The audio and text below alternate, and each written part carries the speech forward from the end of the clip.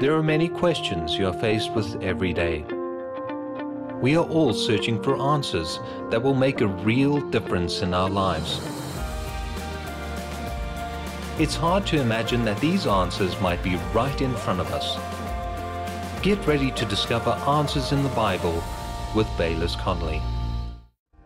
You know, sometimes I tend to shy away from teaching certain subjects because there's excess. Some people have taken a truth too far. And when it comes to generosity, prosperity, by nature, I tend to want to retreat from it. However, the scripture is very clear along some of these lines. I pray that you would stay tuned and hear what I think is a balanced message. You know, after the floodwaters abated, and the ark came to rest upon Mount Ararat, and Noah and his family came out from the ark. An interesting thing happened. God started talking to himself. It actually says that the Lord said in his heart, and God made a declaration in his own heart that I want to quote to you. It's in Genesis 8 and 22. Listen to what the Lord said in his heart. He said, While the earth remains, seed time and harvest, cold and heat, winter and summer, and day and night shall not cease. Sowing and reaping is a principle that God established, and He has decreed that as long as the earth remains, the principle will operate seed time and harvest, sowing and reaping. Plant seeds in the earth and they will grow and they will multiply. If you take a single kernel of corn in between your fingers, it looks quite small. But you know what? When you plant that in the earth, it grows.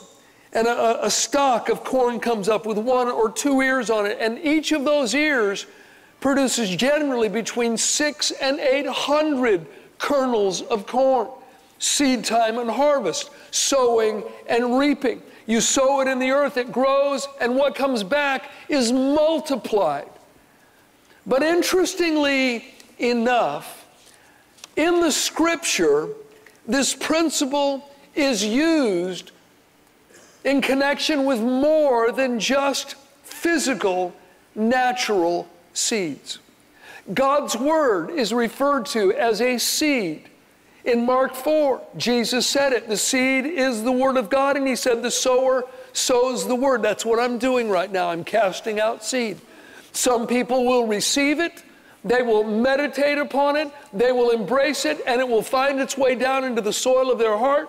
It will grow, and it will produce a multiplied harvest in their lives. So the, the principle of seed time and harvest or sowing and reaping is used in the Bible in connection with God's Word. It is also used in connection with the words that we speak as a habit of life. The things that you say daily that come out of your mouth, from your heart, will produce a harvest in your life for positive or negative. If you speak words of doubt and, and fear and, and lack and, and negativity, you will reap a negative harvest. In other words, your words are like seeds that will produce a harvest or fruit in your life for good or bad. The deeds of people are referred to as seeds, the things that people do. In Galatians 6 and 7. Don't be deceived, God is not mocked. For whatever a man sows, that shall he also reap. And if you look at it, it's in connection with our actions.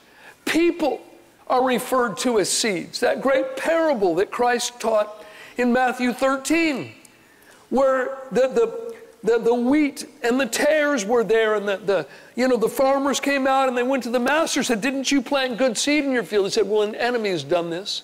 That's where the tares came from. And then when Jesus explained it to the disciples, he said, Listen, the wheat, the good seeds, they are the sons of the kingdom, but the tares, the evil seed, they're the sons of the wicked one. And the idea is that whenever God or the devil wants to bring influence into a particular culture or region of the world or place, they do it by sowing people. people that have embraced the Word of God and been changed by God, God will then take that person and sow them into a particular environment or people group or place in the world to affect change. And a multiplication begins to happen. It's a wonderful strategy, but people are referred to as seeds in the same principle of sowing and reaping refers to people. But you know what? In the scripture, it also refers to money that is giving our resources into kingdom work. Giving to God's house, into the church, is referred to as planting seed, and this same principle of seed time and harvest or sowing and reaping is applicable. In fact, look with me in Second Corinthians, the eighth chapter, if you would.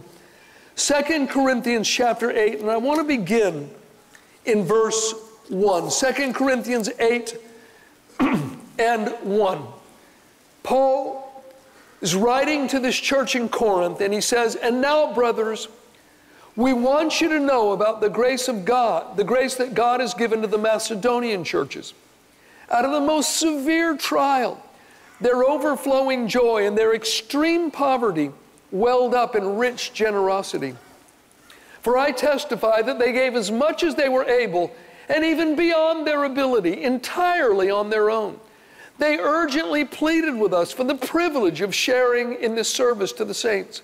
And they did not do as we expected, but they gave themselves first to the Lord and then to us in keeping with God's will. So we urge Titus, since he had earlier made a beginning, to bring also to completion this act of grace on your part. But just as you excel in everything, in faith, in speech, in knowledge, in complete earnestness, and in your love for us, see that you also excel in this grace of giving. And he was talking about a particular offering they were receiving to help the church in Jerusalem. The saints in Jerusalem were being persecuted, they were in a season of lack, and so that's what this offering was for. It could have been, however, for any kingdom work, but that's just what this specific one was for. And he goes on talking about this offering that they're going to collect from the church in Corinth. And look with me in chapter 9, if you would, as he continues with the theme. Verse 5 of chapter 9. So I thought it necessary to urge the brothers to visit you in advance and finish the arrangements for the generous gift you had promised. Then it will be ready as a generous gift, not as one grudgingly given. Now, here we go. Remember this whoever sows sparingly will also reap sparingly, and whoever sows generously will also reap generously. Each man should give what he has decided in his heart to give, not reluctantly or under compulsion, for God loves a cheerful giver. And God is able to make all grace abound to you so that in all things at all times, having all that you need, that's a lot of alls, you will abound in every good work. And I like the message Bible there. It says, and God can pour on the blessings in astonishing ways so that you're ready for anything and everything. But that is brought about by generous giving. What preceded the fact of God pouring out the blessing in astonishing ways was sowing generously in order that there might be a generous harvest. So, the principle of sowing and reaping and multiplication applies to the resources we give into God's kingdom. And I just want to share a very simple message with you today. I'm going to use the word seed as an acrostic. Very simple. There'll be four points. And you will know when I'm getting towards the end of the sermon if you can spell. so we begin with the letter S, and that simply stands for sow. The seed doesn't do anyone any good as long as it sits on the shelf. In order for the seed to do its work, you have to get it in the ground. Think about God's word, also referred to as a seed.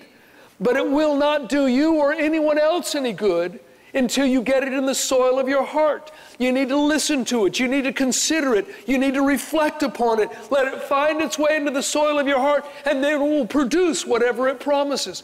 But as long as the Bible sits on your nightstand collecting dust, it will not do you or anyone else any good. And with money, it won't help others, and it will not be multiplied back to you until you give it or until you sow it. Look at these verses 2 Corinthians chapter 9 and verse 10, still referring to the offering. He said, Now may he who supplies seed to the sower and bread for food supply and multiply the seed you have sown and increase the fruits of your righteousness. The Father will supply bread for food, but He also supplies something else. And in the sequential order, it says He supplies the other thing first. He supplies seed to the sower and bread for food. But see, what a lot of people do, they'll take the seed that He supplies to sow and they turn it into food as well. They consume it all upon themselves. God gives seed to the sower before He provides the seed that is turned into bread for food. I want you to think about that. God provides seed for the sower. You know, when I moved back to California from Oregon, this is probably 1978, maybe. Um, I started going to a church here in the Southland, and they had a, a project that they, they engaged with that had to do with a parking lot. And I know how important parking is for a church. It's really, really important. In fact, some of you remember if you've been with us since the Sausalito campus, we used to bus people from three remote locations every service. In fact, at one point, we bus people in from five locations, and we had buses that came every five minutes there, and we always had like a captain of the bus that was sort of like the guy in the Jungle Cruise at Disneyland. We'd crack jokes and hand out candy and, you know, just sort of make it a fun little thing so people would, you know, park at different schools, at different locations, and we'd have to bus them in. So parking is important. So they've got this project, you know, to, to get this parking lot, and it's going to cost $60,000. And I thought, man, I want to I want to be in on this. This is important for the, the future and the life of the church. And I prayed, and I felt like the Holy Spirit put it on my heart to give $100. Now, in 1978, $100 was a lot of money to me, especially at that time because I didn't have hardly anything. I'd just come back from Oregon.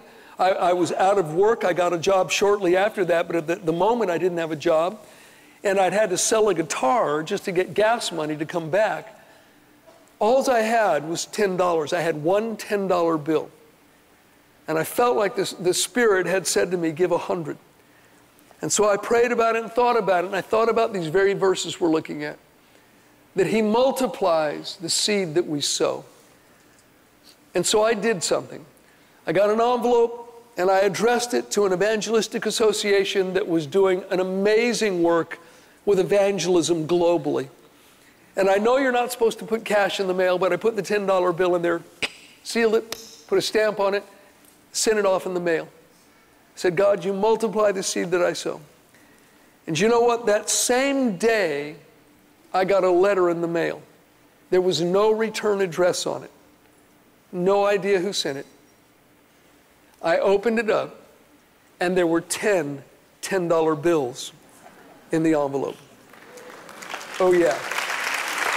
Listen, no human being on earth knew what the Holy Spirit had put on my heart to do. No human being on planet Earth, other than myself, knew what I had done with the $10, knew about the prayer that I had prayed.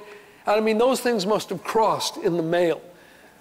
And I opened it up, so I just, I happily, next service, you know, went to church and gave the $100 for the parking lot. You see, He multiplies the seed that we sow. And from that day, the cycle has continued and the amounts have grown and the fruits have increased. So S stands for sow your seed, get it in the ground so God can begin multiplying it. And then E, our second letter, stands for eternal life. The bottom line is we give so that people can experience eternal life and all of its benefits. That is the why we give. Every single part of it. It's about bringing eternal life to people that are lost. It's about bringing all the benefits that Christ died to provide to people that need God in their life. And that is the why that we give, so people can receive this amazing gift of God's grace. You know, I spoke to a young man in church here a few days ago. He got saved at Cottonwood, been saved less than a year, and it's always a trip to talk to him. He has this, this holy sense of being just thunderstruck with this new life that he has. This, this holy sense of, of awe as he continually discovers more about this Savior that has so radically changed his life. And you know, I look at him and I just, I, I smile. It's delightful and it's something that none of us should ever lose as Christians.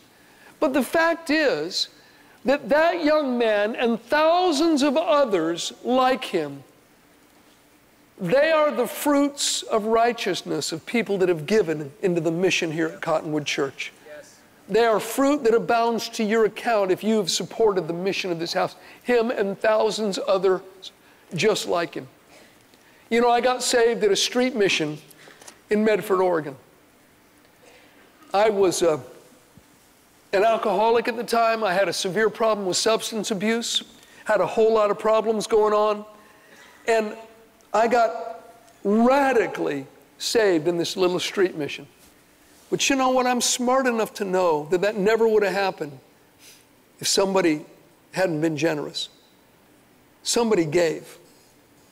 They paid for the lights to be on. They paid the gas bill. They paid the electric bill. They paid the water bill. They paid the salaries. They paid the rent on the building. People brought food so that they could feed, you know, the homeless people that were there. That never would have happened.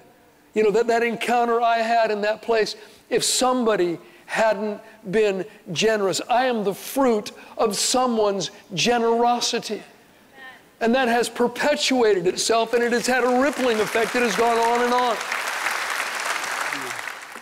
And we come to the, the third letter, it's another E, and that one stands for expectancy. And there's a bit of divine tension with this one.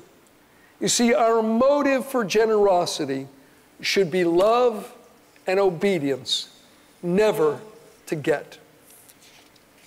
We ought to give because we love God and because we love a world that Christ died to save, and we do it out of obedience because God said to be generous. We are to imitate Him as dear children, and He is the most generous being in existence. And so we, we give out of a motivation of love and out of a motivation of obedience, but the fact is, God always rewards generosity.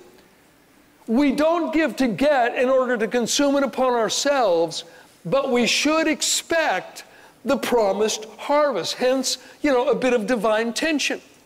Now, if there were no promised benefit, we should give generously just the same, out of gratitude and out of a desire to do the will of God and see people's lives changed. But you know, God, in His wisdom, and in his kindness has set a law into motion that as long as the earth remains, there will be seed time and harvest. And as 2 Corinthians chapter 8 and 9 clearly teach, that applies to the financial gifts we sow into God's work as well. So I believe that even though it is not our motive for giving, we should give with expectancy in anticipation of a harvest. I mean, what, what farmer would plant seeds and not expect a harvest? You know, we take Janet's family. You know, as an example, once again, her, her dad raising all of those kids on a small dairy farm. They planted their wheat, they planted their oats, they planted their corn. And you know, in advance of the harvest, they made sure the tractor was in good working order. They made sure the corn picker was working. They made sure the corn chopper was working. They, they had a barn built in advance. They had a huge silo that they would store the grain in. I mean, what farmer would plant a crop of corn and then go, What the heck? that stuff is growing. Man, we got to get a tractor. Uh, let's get a contractor out here and build us a silo. No, they have enough faith in the soil and in the seeds and in all the elements that are involved that they prepare in advance. They sow their seed and they, they have an anticipation that there will be a harvest. You know, many years ago, our church was on Katella Avenue, so we were actually on Katella Avenue before we were on Katella Avenue. And uh, we had a, a, a, small commercial office building leased out. We were there for five years. And we, we seated 160 people, and I say that with a, a bit of a grin because that meant we seated people outside as well. Some, when it was hot or raining, we'd just give them umbrellas and we'd pipe the sound out there. And uh, we'd seat them down the hallways, you know. I mean, if you went to the bathroom, there was nothing private about it because there's people down the hallways with chairs and sound is piped in there. If I took one step backwards, I crashed into the drum set. If I took two steps forward, I was in the lap of the people in the front row. I mean, it was tight. You couldn't breathe in that place. We were packed in like sardines, and we ran 600 people in that tiny little place. We so desperately needed a bigger facility. And we had tried and tried, and everything had fallen through, and we'd been saving and had a building fund saved. And it just, I mean, just nothing was working. And in prayer one day, I felt like God challenged me. Again, with these verses, that He multiplies the seed that we sow. And I felt like God was telling me that we needed to give a major portion of our building fund away. So I called the board together and we got our leadership team together and told them what I felt like God had told me. And to the person, every one of them had a witness in their heart. We said, they said, We believe the Holy Spirit's in this, we need to do it. Floated the idea to the congregation. Almost unanimously, everybody said we should do it. I say almost, there was a few people that were in direct opposition to that. In fact, after service, as I was greeting people at the door, several of them pulled me aside and they said, We think you're a fool. Says, We haven't been able to get a building. We've been saving this building fund and now you're giving it away. How do you ever expect us to get a building? And they basically said, Look, we, we're not going to be shepherded by a fool. We're gone. And they left the church and never, ever came back. But you know what? Within just a few short weeks of that, and we gave $50,000 to different ministries around the world that were doing great works for God, and that was a huge part of our building fund at the time. Within a few short weeks of that, the property over in Sausalito opened, and God did miracle after miracle after miracle after miracle. I wish I had the time to go through the story, but we ended up getting that property and building that building, and without the help of God, it never would have happened. Uh, we didn't give to get, but God multiplies the seed that we have sown. And so when we give, we should give in anticipation of a harvest. RID stands for do it now. And by now, I mean out of what you have presently, not waiting until you have more before you participate. Do it now. Listen to these verses from the same section of chapters we're studying. The subject is still the offering they're receiving.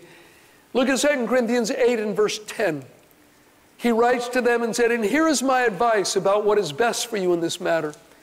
Last year, you were the first not only to give, but also to have the desire to do so.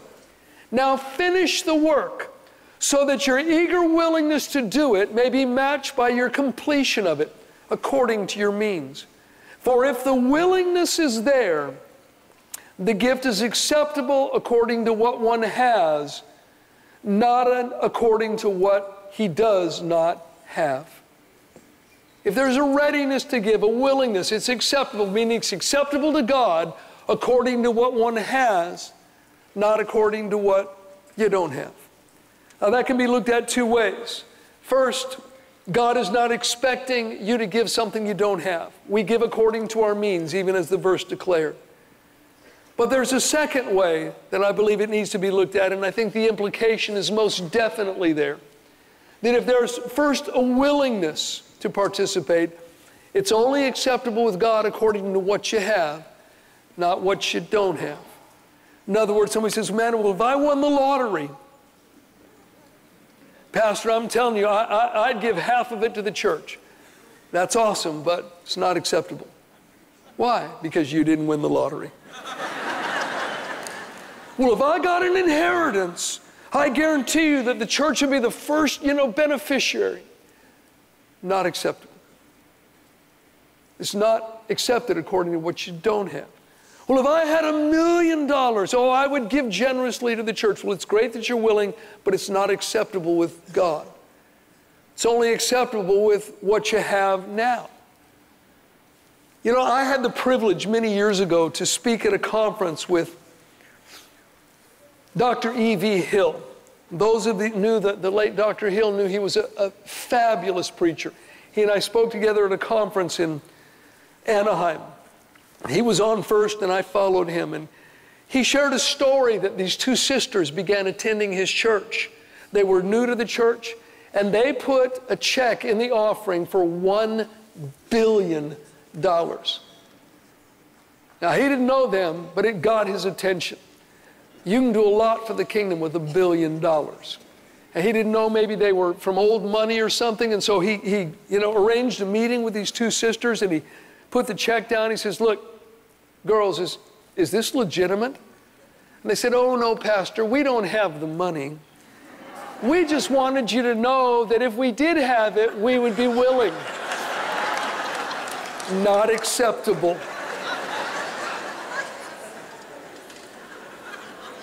What is acceptable with God is being generous out of what you have now.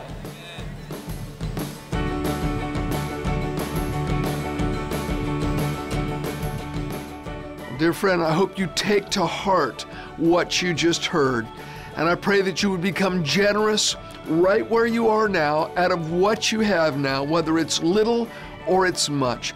Be generous with others the way the Lord has been generous with you. You'll find a blessing in it. We hope you enjoyed today's message. Order the full version of this teaching on CD, DVD, or MP3 by using the contact details on screen now. Our prayer for you is that you'll continually grow in the wisdom, faith, and power that comes when we hear and apply God's Word in our daily lives. The rain just won't stop. I wish I could turn it off. I can't turn off the rain, but I can protect myself from it. It's the same with temptations. We can't switch them off, but we can protect ourselves. Pastor Bayless explains how in his CD or DVD message, Victory Over Sin.